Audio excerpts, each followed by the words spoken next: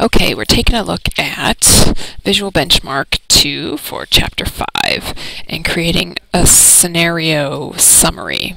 So here's our drum studio and we've got our scenarios already in so um, we can go ahead and take a look at our scenario manager. We have everything set up the way we want it here. So our low rate increase, mid rate increase, and high rate increase. Um, and if I wanted to see them again, I could hit edit.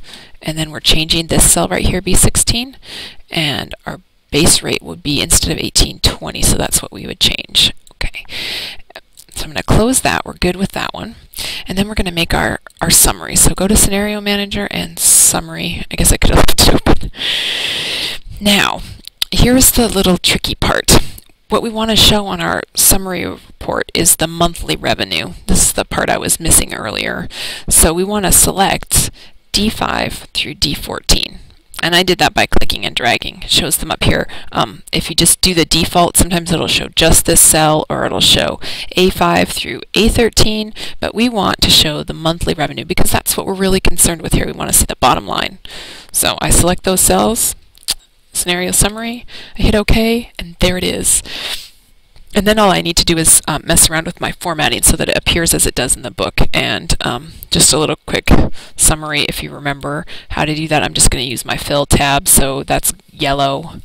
Um, and then the gray stuff, I'm holding down my control key to select separate cells. And that one is uh, green, looks like that kind of green.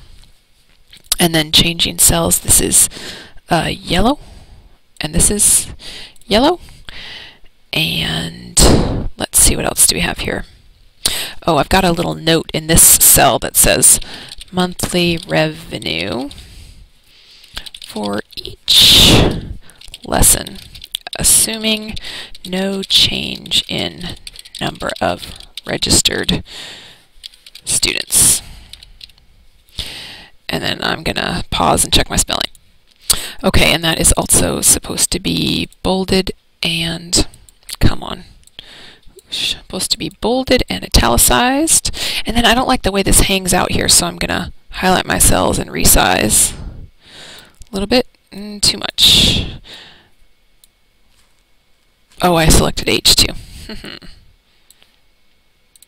okay, that looks better. I resize those cells, and then um, this area down here, these are bolded. And just checking. Um, oh, looks like the um, text in here is black.